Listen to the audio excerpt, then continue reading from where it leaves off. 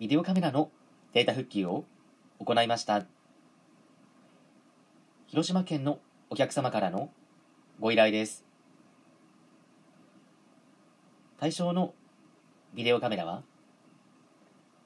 JVC エブリオ GZHM570 ビデオカメラが故障し液晶画面が真っ白で何も映らず操作できないという状況ですデータ復旧処理を行い3時間56分の動画データ100%の